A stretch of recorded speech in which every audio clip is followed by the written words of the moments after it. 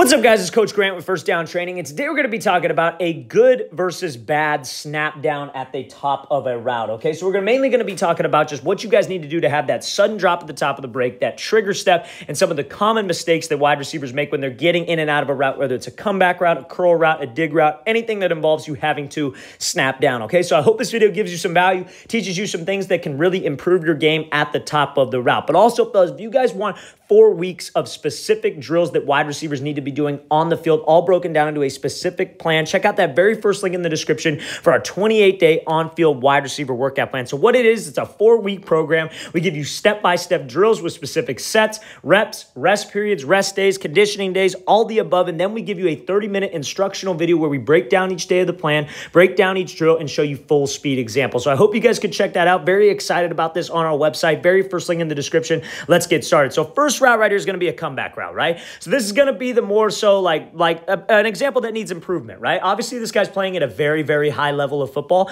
so he makes the same mistakes that we make at the top of the route, right? So again, this is not meant to just criticize him. This is meant to, and I'm sure he's had people tell him this before, but this is meant to give you guys value and show you what the difference is between like an elite comeback route and a route that needs some work, right? So you see when he gets up into this route, the easy thing that everybody's going to say is, "Oh, he takes too many steps at the top of the break." Well, that's not necessarily wrong. Yeah, you always want you can always be better. You can always eliminate steps, you can always eliminate time. But the thing that it is, it's not about steps. It's about eliminating time, like I said, right? And how we eliminate time is that sudden drop of your hip. So let's talk about this. So you see when he gets into it, it's one, two, three, four, five, six, and then maybe like seven right here, and he's out of that break. The only thing, how he could eliminate those extra steps, because I think seven's a little bit too much. I would try to limit it to five. Five is probably a more realistic number, especially if you're kind of newer to this, is that hip drop, right? So there was really no like level change. That's the main thing that you want to know on a comeback, right? So you see how he just kind of leans back into this. He starts doggy paddling. I call that milking the cow, but a lot of people call beating the drums. That's going to make you slow because the faster you chatter your hands right here,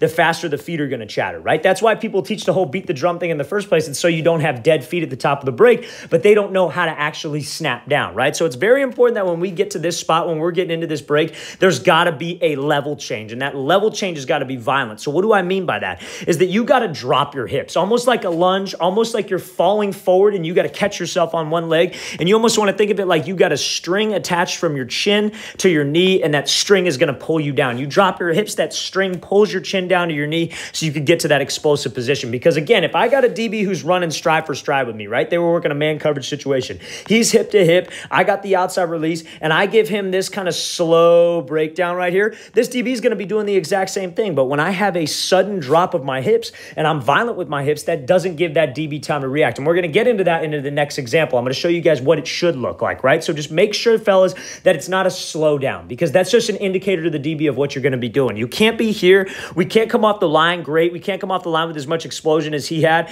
And then I see how he kind of raises his pad level up and his chest pops up and he exposes that number. That's the issue. That's the thing that we want to try to eliminate as a receiver. I want to keep a good explosive pad level. I want to stay in stride. I want to continue to pump my arms. My eyes stay straight forward and I drop my hips. I don't want to slow down with my hips. I don't want to cruise into the break. I don't want to sink my hips. I want to have a violent drop of my hips because that's the only way, fellas, you're able to decelerate efficiently and create energy at the top of the break when running full speed. The whole entire goal of this whole route running thing is to be able to have speed into the break, create energy at the break so you could turn that energy into acceleration, right? But if I slow down three yards before and then I take all these choppy steps because there's no level change, then I'm not going to be able to get out of this thing fast. So that's what we got to make sure that we do. So let's watch it full speed and now we'll get into the good example, okay? So now, obviously need some work. Obviously a talented receiver. Just again, got to make sure that we're eliminating the most time possible at the top of the break and creating explosion. So now let's take a look at this route here. So let's watch the differences, right? Selling vertical all the way.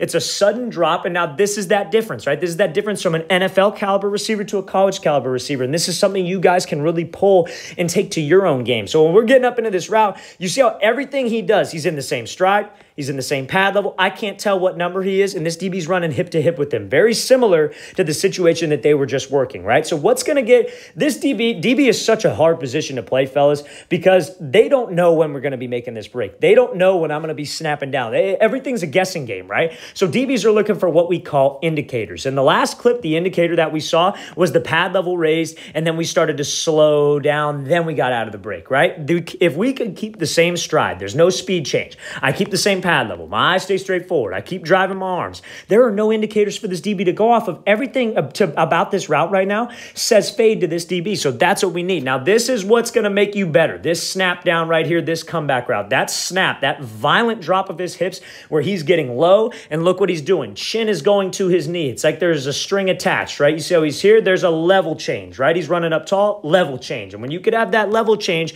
and get to this low explosive position, that's what allows you to stop. That's what allows you to break on a dime, right? When you guys snap down, it's not about, okay, I'm going to run. All right, I'm going to slow down. Then I'm going to snap down. Then I'm going to drop my hips and try to get out of this thing. No, you got to be running full speed. And the snap down, the hip drop is the thing that slows you down. That's the thing that makes you decelerate, right? And there are a lot of things that tie into that. You got to have great core strength. You got to have great lower body strength. Hamstrings and glutes are super important. Those always need to be activated when you're making a cut. So that's the stuff that you guys need to be able to work on. You got to have great ankle stability, knee stability. All those things apply into this, right? Like that workout program I was talking about in the very beginning of this, all those drills, they all work on that specific thing. And that's exactly what you need to be able to make these efficient cuts running full speed. A lot of people will say that, oh, you can't teach this. You absolutely 100% can teach this stuff. This is not say you're, you're very limited in your thinking if you think that, oh, well, only some people can do this kind of stuff. That's not the case, right? This is something that I've seen, something that I've taught, something that I've done. This is something that can 100% be taught, right? So this is how you guys get in and out of breaks better. That snap, the slowdown. The slowdown is what's going to make a DB be able to sit on this route. A snap down, a sudden change of direction is going to make this DB fly by because, again, the low man's going to win. That's the rule in football. And you see how high this DB is because now look at the DB. He's reacting off us. He's taking all those choppy steps.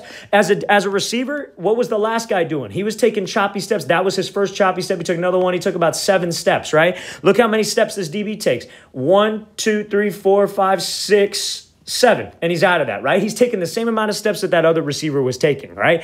And that other receiver slowed down, so that DB is going to slow down, so he's probably going to be able to take less steps. This is that DB taking seven without having a violent hip drop, knowing when to break. It, it's all relative, fellas. You guys got to make sure that we're eliminating time spent. It's not about steps, it's about eliminating time, but being able to sell vertical until the last possible second. This is a great route right here, great example of what to do, great example of a good snap down technique at the top of a comeback route. Let's watch it again, full speed Perfect job selling vertical. Everything about this is a fade until we snap down. There's a level change with your pad level, and you're bringing that chin straight to your knee. All right, guys, we want to thank you for watching. I really appreciate it. Again, fellas, really appreciate all the comments you guys leave below. So if you guys have any comments, any questions, anything, um, that I can help you with, please don't hesitate to leave those below. I always, always appreciate the feedback. And again, fellas, 28 day on field wide receiver workout plan, four weeks of specific exercises to help your guys' route running, press releases, catching ability, balance, and explosiveness at the top of the break, all broken down to a set plan. We have a 30 minute instructional video where we break down every single day of the plan, show you live, full speed examples, all the above. So I hope you guys could check that out. Very first link in the description. I'll see you guys next time.